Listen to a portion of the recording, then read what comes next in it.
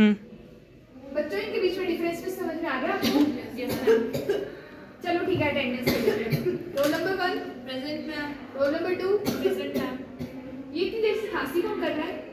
Ma'am Neha खांसी कब से आपको? टू वीक से ज़्यादा होगा। और बुखार भी आता है साथ में? जी शाम के टाइम आता है। दवाई वगैरह लिया आपने?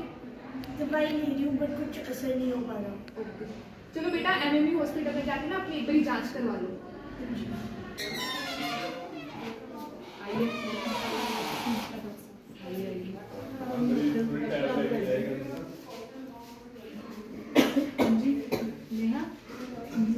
क्या उम्र है आपकी? ट्वेंटी थ्री ईयर्स अच्छा क्या काम करते हैं मैं कॉलेज स्टूडेंट हूँ। अच्छा क्या दिक्कत आ रही है आपको अभी?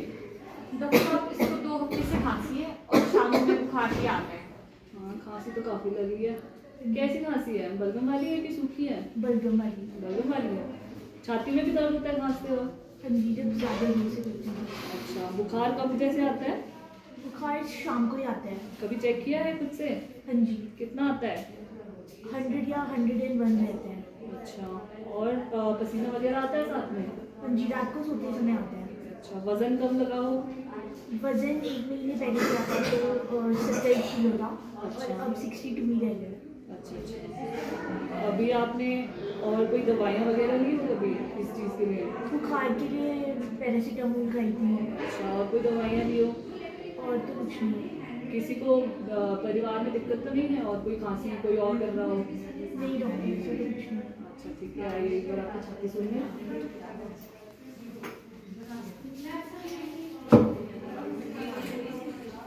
लंबी सांस लीजिए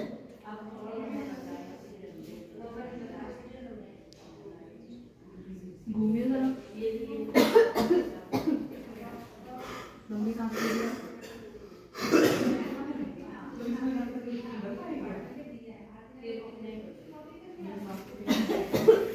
देखिए लक्षण तो इनके टीबी के ही लग रहे हैं। हाँ जी। हाँ जी। ऐसी डरने वाली बात नहीं है। यहाँ पे दवाइयाँ मिल जाती है। दवाई से इसका इलाज हो जाता है। ठीक है? आपने अभी क्या करना है? अपने बलगम की जाँच करानी है और एक एक्सरे कराना है। ताकि हमें पता चल जाए टीबी ही है। आपने डरने की कोई बात नहीं है। सैंपल दे के आइए। रिपोर्ट जब आ जाएगी तो वापस आपने यहाँ यहीं आके रिपोर्ट दिखाएँगे। अभी के लिए मास्क लगाइए। ताकि आप बाकी को ना फैलाएँ प्रकाश जी। हाँ जी मैम। आइए।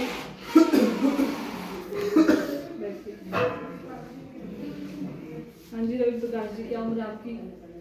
बत्तीस साल। क्या काम करते हैं? यही राजमिस्त्री का। अच्छा। क्या दिक्कत हो रही है? खांसी आ रही है बीस एक दिन से। अच्छा बीस एक दिन से खांसी है। कैसी खांसी है? सूखी है बलगम वाली है? बलगम वाली है। बलगम वाली है। और साथ में कुछ बुखार वगैरह आता हो? हाँ शाम को बुखार आता है शरीर टूटता है। शरीर टूटता है। पसीना भी आता है साथ में? हाँ। और खाने में दिक्कत है? भूख वगैरह ठीक लग रही है? नहीं भूख कम लग रही है। अच्छा वज़न का आपको लगा हो घट गया हो? हाँ? कपड़े ढीले हो रहे हैं। अच्छा। ये भी बीस दिन से ही हो रहा है सब कुछ? हाँ। आपकी छाती सुनिए एक बार।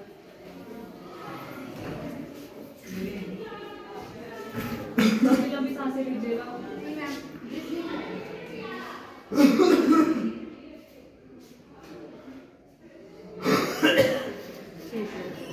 देखिए लक्षण तो आपके टीबी के टीबी के लिए तो आपको एक बार जाँच करानी होगी। अगर टीबी आ जाता है तो आपकी दवाइयाँ शुरू करेंगे ठीक है, अभी के लिए आपने क्या करना है? बलगम की जाँच लेनी है और एक एक्सरे कराना है। उसकी रिपोर्ट लेके आपको वापस ले आना है। तब तक के लिए आप ये मास्क लगाइए। ताकि आप दूसरों को ना जाँच के कितने पैसे लगेंगे जाँच अभी देखिए हमारे यहाँ कैंप चल रहा है तो फ्री हो जाएगा। हमारा बलगम वाला जाँच है वो तो फ्री ही होता है। ठीक है? आप रिपोर्ट लेके आ जाइएगा ठीक है पर्ची। जाँच के लिए। ठीक है तो आपको खांसी है दोनों को ना? दो हफ़्ते से। तो आपने क्या करना आपने अपनी बलगम की जाँच करवानी है। तो जो खांस के जो बल- बलगम आती है ना उसका आपका सैंपल जाएगा एक डब्बी में। ठीक है? ऐसी डब्बी है बाहर फार्मेसी से मिलती है। तो आपने वो लेनी है अभी एक सैंपल थूक नहीं होना चाहिए उसमें। उसमें आपकी बलगम जाएगी ठीक है? अभी एक सैंपल भेज रहे एक सुबह भेजेंगे आप उसके साथ जो बलगम का सैंपल जाएगा वो जाएगा। ठीक है? हमारे पास सी बी नेट की मशीनें हैं लेबॉर्ट्री में। उसमें दो घंटे में आपकी रिपोर्ट आ जाएगी। उसमें भी पता लगेगा कि जो आपको वो कितना असर करेगी? ठीक है? ठीक तो हो जाऊँगी। हाँ आप घबराइए मत। ये बहुत आम बीमारी है बड़े आराम से ठीक हो जाएगी। दवाई खाइए और दवाई नहीं छोड़नी आपकी। ठीक है? बाकी डॉक्टर साहब से मिल लेना। रवि प्रकाश आ जाइए। नमस्कार जी।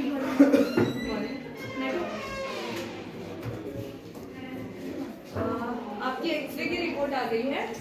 तो नेहा, ये देखो, ये आपका एक्सरे है। इसमें यहाँ पे आपको ये सफ़ेद सफ़ेद धब्बे नज़र आ रहे इसका मतलब है कि आपको टीबी हो गई है। ठीक है? इसका अब मैं आपके एक्सरे की रिपोर्टिंग बना रही है। ठीक है? इसको आप लेके जाना और डॉक्टर को दिखाना। आपको वो छह महीने का ट्रीटमेंट प्रिस्क्राइब करेंगे वो आपको पूरा पूरा लेना पड़ेगा। और रवि प्रकाश जी घबराने की बात तो नहीं है।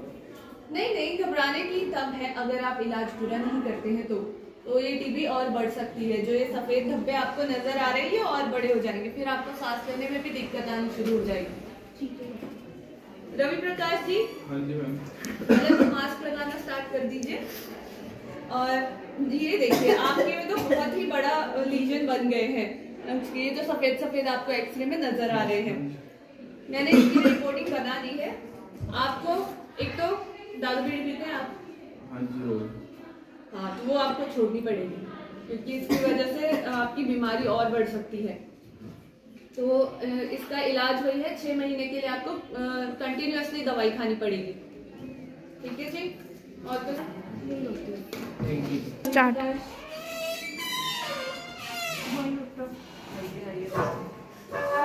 देखिए आप लोगों इससे तो कंफर्म हो गया कि टीबी है। अब आपको दवाइयाँ लेनी पड़ेगी। कम से कम छः महीने के लिए तो लेनी पड़ेगी। हमारे यहाँ पे ही डॉट सेंटर है वहाँ पे जाइए आपको बता देंगे दवाइयाँ कैसे लेनी है। कब कब लेनी है और रोज़ लेनी है। बाकी आपको अपना से मैं कॉलेज जाती हूँ तो अभी के लिए आप छोड़ दीजिए थोड़ी देर के लिए। आप पहले दवाइयाँ लीजिए जब आप कुछ खाने में परहेज वगैरह। तो अभी अभी दो महीने के लिए दवाइयाँ लीजिए मास्क पहनिए आइसोलेशन में रहिए ताकि आप बाकी को ना फैलाएँ। और गवर्नमेंट की तरफ़ से आपको पाँच सौ रुपये हर महीने में देंगे जिसमें आप अपना आहार ले सकते हैं। अगर आप अंडे खाते हैं तो अंडे मीट वगैरह लीजिए उससे। अगर आप नॉन नॉन वेजिटेरियन नहीं हैं तो आप सब्ज़ियाँ और दालें ले सकते हैं। ठीक है। नमस्कार मैम हमें डॉक्टर ने भेजा है। अच्छा अच्छा। आपको तो टीबी डिटेक्ट हुआ है ना? तो हम आपकी दवाइयाँ शुरू करेंगे टीबी की ना मैं आपको दिखाती हूँ।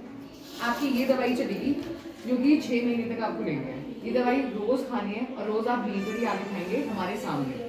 इस दवाई में चार दवाई का कॉम्बिनेशन है और आप ये बीच में छोड़ नहीं सकते, क्योंकि आपने जिस दिन छोड़ी, आपको दोबारा से फिर सारा कोर्स शुरू करना पड़ेगा। चलिए, हम आपको दवाई दे देते हैं। एक दवाई तो आप यहाँ पर हमारे सामने ही खाएँगे और उसके बाद हम आपको आधे घंटे के लिए देखेंगे कि आपको कोई खराश ना हो, आपको कोई इससे एलर्जी ना हो। और उसके बाद कल जब आप आएँगे तो खाली पेट आना है आपको।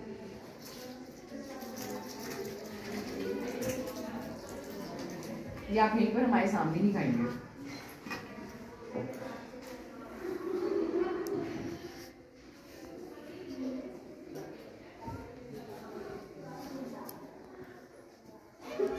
आपके पेशाब का रंग या तो ऑरेंज होगा या लाल होगा। तो घबराने वाली कोई बात नहीं है, दवाई खाने को चीज़ होती है।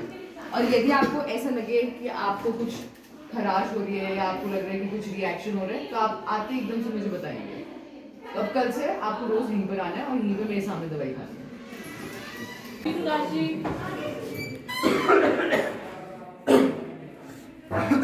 हाँ जी रवि प्रकाश जी। आपकी खांसी नहीं हुई अब तक ठीक आपने दवाइयाँ ली थी टाइम से? नहीं आपको बोला भी था डॉट्स में आके रोज लेनी है। दो महीने ली थी आराम आ गया तो थोड़ा तो बंद कर दी थी। अब तो आपको लंबे टाइम के लिए दवाइयाँ चलेगी। और मैंने शराब सिगरेट भी नहीं छोड़ी। देखिए फिर। लापरवाही करना मतलब टीबी से सिर्फ़ आधी लड़ाई जीतना। इसलिए जाँच में देरी ना करें बलगम की पूरी जाँच करवाएँ। टीबी की दवा का कोर्स नियमित रूप से लें उपचार पूरा करें नहीं तो दवा का असर कम होगा। यस